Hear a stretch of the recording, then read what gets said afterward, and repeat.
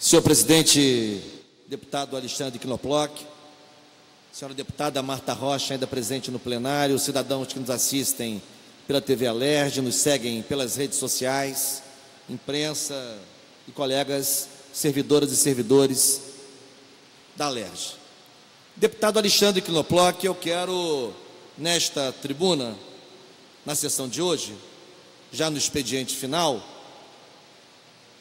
restituir, é, é, de modo resumido, o planejamento de trabalho da Comissão Permanente de Ciência e Tecnologia, da qual Vossa Excelência participa, e que foi instalada no dia de ontem, é, nesta, neste biênio 2019-2020. É, comissão que eu passo a presidir, portanto.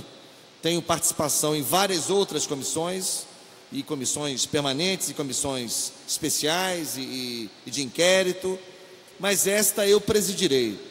E, em primeiro lugar, eu quero ressaltar a importância de construirmos na comissão um trabalho que possa realmente ser um trabalho coletivo, de respeito à diferença de pensamento e, sobretudo, tendo referência principal nos interesses, nas demandas do povo do Estado do Janeiro e, em especial, da comunidade acadêmica e científica do nosso Estado, já que estamos nesta Comissão de Ciência e Tecnologia, que tem algumas ambições e algumas vocações. Em primeiro lugar, nós temos que dialogar o mais próximo possível, debater, entender, refletir, ponderar com as instituições que produzem ciência, pesquisa e inovação no Rio de Janeiro, além de serem também instituições, boa parte delas, que formam quadros de alto nível, de nível superior e também em nível de pós-graduação. Evidentemente que me refiro é, às universidades estaduais, ao ERJ, ao ENF, ao ESO, também me refiro às instituições que produzem pesquisa, mas não se constituem elas mesmas em instituições universitárias, e aí penso no Instituto Vital Brasil, importante polo de pesquisa, é, situado em Niterói, ligado à Secretaria de Saúde, muito importante na produção de pesquisa sobre animais, sobre ofídeos em particular. Quero destacar o Instituto de Pesos e Medidas, o IPEM, Quero destacar a Pesagro, importante instituição de pesquisa agropecuária do nosso estado, digamos assim, é a prima estadual da nossa Embrapa. Quero destacar o CEPERGE, essa instituição que por negligência, por distração, por falta de compromisso com o planejamento nas políticas públicas, ficou absurdamente esquecida é, dos governos Cabral e Pezão, aliás, quase foi extinta se não fosse o esforço uma, da maioria de deputados desta casa para rechaçar a emenda constitucional que pretendia extinguir não apenas o CEPERJ, mas vários outros órgãos é, estaduais. É, e o CEPERJ tem uma capacidade instalada de especialistas, de quadros, para produção de levantamentos, de surveys, de estatísticas que são fundamentais para embasar decisões, para embasar a tomada de decisões, a formulação de políticas em várias áreas da vida pública eh, eh, do Rio de Janeiro. Quero também lembrar da Emater, eh, que tem também quadros experientes na pesquisa relacionada à educação rural, à produção rural, enfim. É, portanto, são instituições que compõem um parque científico, eu diria, robusto, apenas na esfera estadual. Além disso, é importante lembrar daquela que é a segunda principal agência estadual de fomento à pesquisa do Brasil, que é a nossa FAPERJ, a Fundação Carlos Chagas de Amparo à Pesquisa do Estado do Rio de Janeiro, ela também, que sofreu é, um violento ataque esteve sob violenta ofensiva no quadriênio passado, é, cujo desgoverno, Pezão, é, tentou a todo custo retirar os recursos constitucionalmente vinculados a, a FAPERJ quais sejam 2% da receita tributária que devem fomentar a ciência, a pesquisa, a inovação, apoiar laboratórios, apoiar projetos de pesquisa, pagar bolsa de iniciação científica, de mestrado, de doutorado, enfim. Além disso, nós estamos no Rio de Janeiro. E como se fosse pouco, esse parque estadual de ciência, pesquisa e inovação, que envolve universidades, institutos de pesquisa, a agência de fomento, temos também a rede federal. Temos também a rede federal instalada no Rio de Janeiro. Aqui no Rio de Janeiro nós temos a Universidade Federal do Rio de Janeiro, a Universidade Federal Fluminense, a Universidade Federal do Estado do Rio de Janeiro, a Unirio, a Universidade Federal Rural do Rio de Janeiro.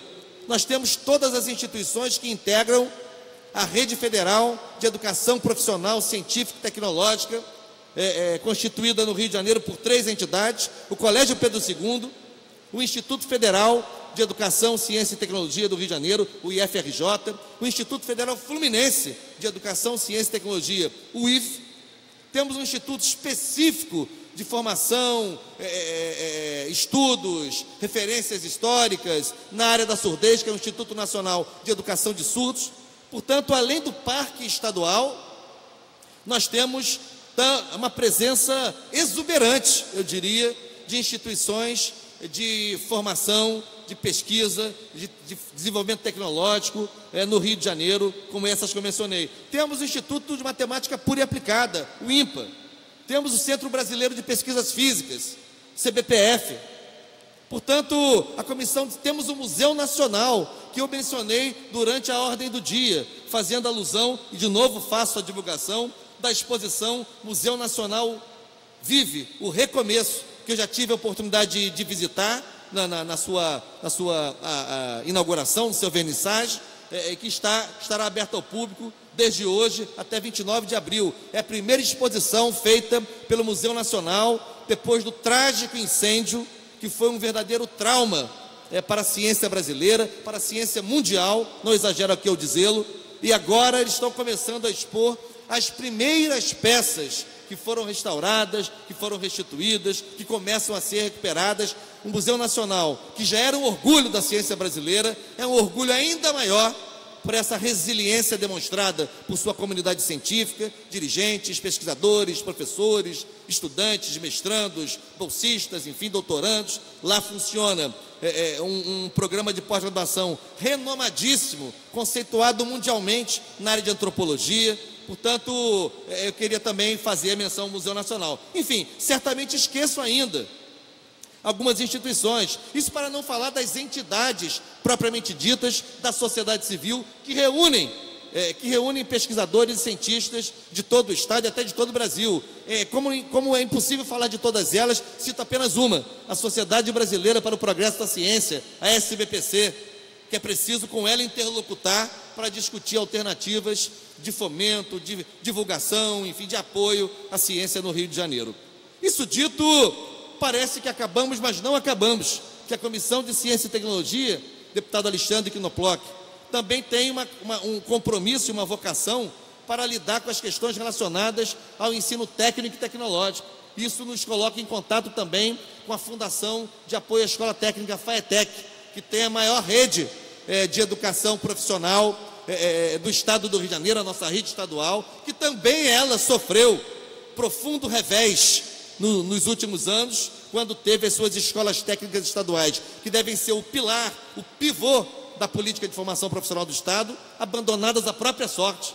Temos a Fundação CCERG, que, que entre outras missões, é, gere o consórcio CEDERG, que é o consórcio que reúne todas as instituições de ensino superior públicas do Rio de Janeiro, federais estaduais, para a oferta de ensino superior à distância em várias áreas do conhecimento. Portanto, deputado Alexandre Knoploch, ontem nós já apresentamos um programa de trabalho, Vossa Excelência já é conhecedor, é, é, é, é, nós temos uma, uma pauta de audiências programadas já até o final de abril, com grande parte dessas instituições que eu mencionei aqui. A primeira delas, eu acho que é justo e razoável que assim se faça, será é, no dia 12 de março, com a presença do secretário de Ciência e Tecnologia, com quem eu conversei ao telefone, com quem estarei pessoalmente amanhã, o senhor Leonardo Rodrigues, não é, é, é, que acho importante que o secretário e sua equipe tenham a oportunidade de, em audiência pública na comissão, apresentar o seu plano de trabalho, né, quais são as suas metas, quais são as suas intenções, qual é o quadro que ele, que ele encontrou qual o quadro que ele herdou e como que a partir daí ele pretende desenvolver as políticas de CIT, as políticas de ciência e tecnologia, de formação profissional, enfim, no estado do Rio de Janeiro. E, a, e na sequência teremos várias outras iniciativas. Por isso eu quis fazer aqui essa apresentação, talvez passando um pouco do ponto, mas era importante situar a quem nos assiste, a quem nos ouve, deixar registrado nos anais, que esta é uma comissão que tem é, é, é um, um, uma, uma um horizonte de trabalho é, muito avantajado e muito importante. Eu quero aqui lembrar que no ano passado, desculpe, no quadriênio passado, em várias oportunidades, em várias oportunidades, nós ouvimos autoridades governamentais, inclusive o ex-governador Pezão, falando, entre outras coisas, que o Rio de Janeiro precisava, enfim, é, é, se libertar, em alguma medida, da excessiva dependência na sua agenda econômica da cadeia de óleo e gás. Que o Rio de Janeiro estava muito dependente da, da, da, do arranjo econômico, da cadeia produtiva do óleo e do gás, e que era preciso inventar outras alternativas, outras soluções. É, outros estudiosos do Rio de Janeiro, lembro aqui os, os, os economistas Mauro Osório, Bruno Sobral, enfim, entre outros, também apontam, é, é, fazem reflexões nessa direção. Ora, não será possível construir um, um projeto estratégico de desenvolvimento de outro tipo para o Rio de Janeiro, sem que essa construção esteja baseada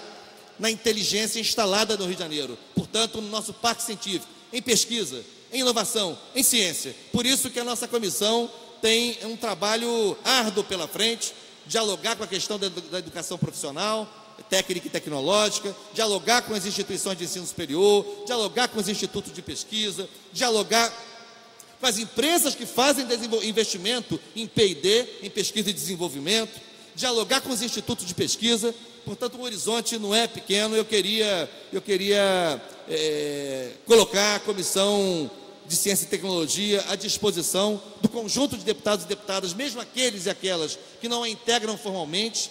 Nós nos reuniremos é, ordinariamente, seja em reuniões formais da comissão, seja em audiências públicas, às terças-feiras pela manhã, das 9 às 12 horas, portanto, semanalmente teremos atividade de trabalho da comissão, tentaremos fazer, deputado Alexandre Quinoploc, audiências itinerantes também, de modo que a gente possa ir ao encontro das instituições e não apenas recebê-las aqui. É importante que a comissão circule, vá ao encontro das instituições, veja como funcionam, é, que problemas têm, que potencialidades demonstram. Por isso, quero aqui fazer esse resumo e apresentar essa, essa pauta de trabalho que está sendo construída. Na comissão temos é, é, como membros titulares Renan Ferreirinha, que é o vice-presidente, Alexandre Quinoploc, Chicão Bulhões, é, Maxi Lemos, Dani Monteiro, portanto, Pedro Brazão, é, são deputados com perfis diferentes, com trajetórias diferentes, com posições políticas e pensamentos diferentes, mas eu acho que isso é positivo, que a gente pode é, dar também um exemplo na comissão de como conviver democraticamente com a pluralidade de ideias e até com a diferença de posições. Por último, deputado Quinoploc, eu é, ontem falei sobre a Venezuela aqui, portanto não vou falar novamente, mas ouvi a intervenção de Vossa Excelência, ouvi, é, tinha ouvido um pouco a intervenção do Flávio Serafini, ouvi o, o a parte do deputado Rodrigo Amorim, e eu me lembrei de um episódio, é, e a gente pode voltar a debater isso mais adiante. Mas em 1991, em 1991, é, George Bush pai é, tinha vencido a guerra do Golfo. Aliás, mais uma guerra por petróleo deflagrada pelos Estados Unidos. Tinha vencido a guerra do Golfo e arrasado Kuwait. É, aquilo representou muitos analistas assim percebem, uma espécie de renovação da autoestima norte-americana, que ainda guardava na memória a dura lembrança da humilhante derrota no Vietnã. Pois bem, é, em 91, vitorioso na Guerra do Golfo, triunfantes com essa vitória, responsável é, por essa, digamos, renovação da autoestima americana, Bush pai era tido como franco favorito para se reeleger em 92 nas eleições que disputou contra o desconhecido governador do Arkansas, Bill Clinton. Desconhecido. Bush em reeleição, Clinton, que tinha perdido uma eleição no Arkansas e depois tinha retornado ao governo daquele estado, ali cuja capital é Little Rock, que eu conheço, é, é, é, é era franco favorito. Muito bem. O marqueteiro do, do Clinton apostou num único caminho, numa única linha de debate com Bush, é, que era a, a, a discussão econômica, que os Estados Unidos, embora vencedor na guerra, e talvez e também por isso houve muito investimento de guerra, muito esforço de guerra, enfrentavam um período de, se não de recessão, mas de é, certa depressão na economia. E, e, e cunhou uma expressão que foi o mote das eleições de 92, o James Carville. Essa expressão foi: é economia estúpido. That's the economy stupid. Foi a expressão que ele cunhou. Para mostrar que, apesar da vitória no, no Golfo, o povo americano ainda sofria muito com a economia. Aquele, aquele slogan, aquela linha de debate, esse, esse, esse, essa, essa estratégia, levou Clinton a uma surpreendente vitória. O que, que falo sobre isso? O que, que isso tem a ver com a Venezuela? A gente volta a debater. É o petróleo que não bloque. É o petróleo. É, era o petróleo na Guerra do Golfo. Era o petróleo na chamada busca por armas químicas que nunca apareceram no Iraque. E é o petróleo de novo na Venezuela. Eu não tenho nenhuma afinidade com Maduro. Não tenho né, nenhum alinhamento com o governo Maduro. Tenho críticas substantivas ao governo Maduro. Mas além da autodeterminação dos povos que eu defendo, não podemos deixar de levar em conta neste debate, há vários argumentos válidos, não podemos deixar de levar em conta que se trata de um país que detém as principais reservas de petróleo hoje no planeta. Portanto, geopoliticamente e economicamente é estratégico para as Américas. Por isso, vale a pena a gente refletir sobre isso e aprofundar esse debate, como Vossa Excelência tentou fazer, o Flávio, eu ontem. Quero continuar debatendo sobre isso, porque tem mais elementos do que nos parece mostrar a van filosofia. Muito obrigado.